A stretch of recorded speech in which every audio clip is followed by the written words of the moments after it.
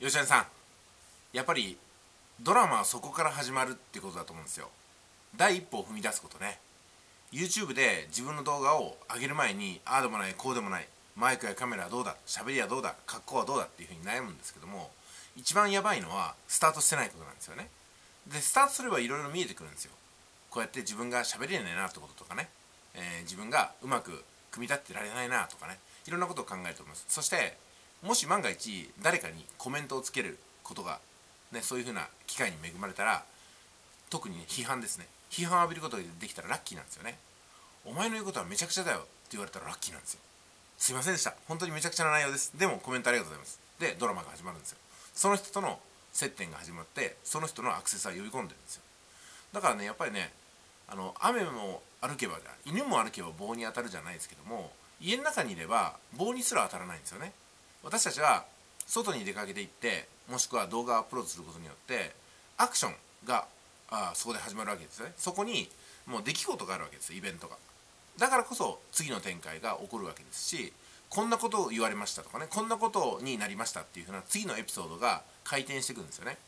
あの漫画家の方がよく言うんですけども漫画家の方がねいろんなキャラクターを漫画に登場させます。そうすると漫画家の作者の意思を離れてキャラクター動き出すそうなんですよ。こっちの A 君の性格を設定したらあ A 君だったらこういうふうに動くだろうな。それを見て B 君はこう感じるだろうなって形であとは勝手に動いていくそうなんですよ。だからまるでね漫画に出てくるキャラクターが自分を操ってるかのようだっていうふうなことをよく言われます。でもっと言うとですねプロの漫画家さんっていうのはそういうふうにして自分の漫画の自分の生み出したキャラクターと対話するそうなんですよ。今で言うとですね私はね即家塾ってものになんか今ね操られてるような感じですよね。即家塾で起きるいろんなエピソードとか悩みとか出来事成功例失敗例稼いだ稼げてない詐欺の商材があるとかね。そういったものにいろいろと操られて自分は次に何をすればいいかってことをその即家塾が教えてくれるみたいな感じですよね。で即家塾ってものを作らなければ多分これ起きなかったと思います。というのが最初の第一歩。即家塾の久保ですって言い直した時から即家塾って何ですかっていうの問い合わせが来るわけですよ。即家塾に入れてもらえませんかと。即家塾ってはどういうもんですかそういうふうなお問い合わせがあるからあどういうふうに返信するためのテンプレート作っておけばいいのかなって大体わかるわけなんですよ。自分の自己紹介が最初はダラダラと長かったんですよ。話すことが思いつかなかったんで。でもそんなことは即家塾に入ってからやればいいことでまずはあ即家塾に興味を持った人は何の問題解決がしたいのかなってことをねやっぱり気づくわけですよね。そうすると即家塾はこんな問題を解決しています。今までにこういうふうなことをしてきました。そして今日からはあなたにはこれをさせてあげることができるんですよ。セルフバックみたいな感じでね。やるとワクワクするわけなんですよね。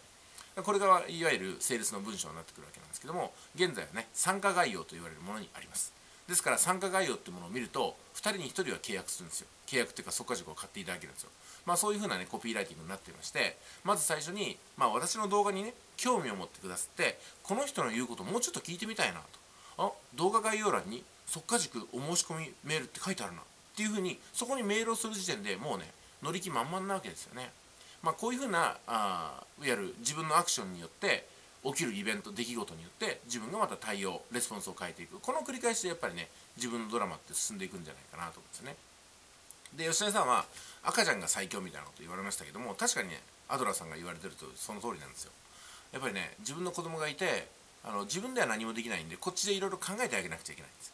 寒い時には多分寒いだろうからこういうふうなものを買ってあげないといけないかな着せてあげようかなとかね。あそろそろよちよち歩くようになってきたから靴下いるよねと。そして靴を履かせないと外に出歩かせられないよねってことで靴を買いに行くみたいなね。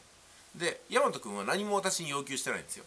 要求してないんですけども泣いたり笑ったりすることによって私がいろいろとねパターンを想定するわけですよ。いやすごいですね、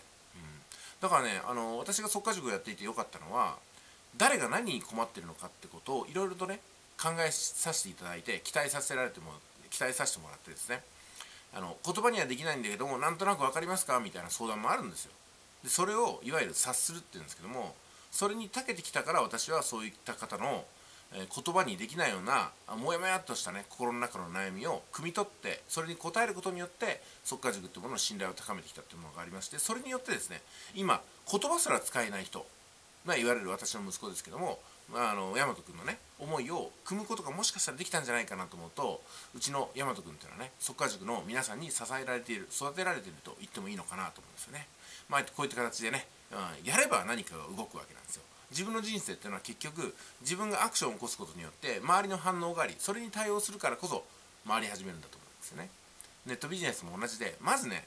ネットの世界に飛び出してみないと何にも起こんないですよ。つうか飛び出しても何にも起きないですからね。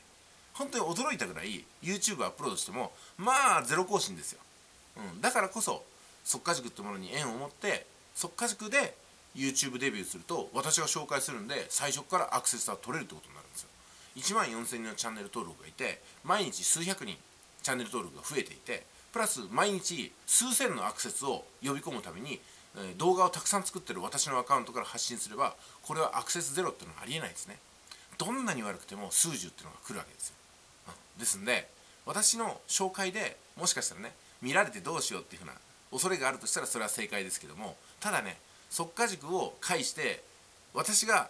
デビューを応援するような人に対して同じ速稼塾のチャンネルを持ってる方がね批判を浴びせようわけがないじゃないですか。だから安心して飛び込んできてもらいたいと思います。それではいってらっしゃい。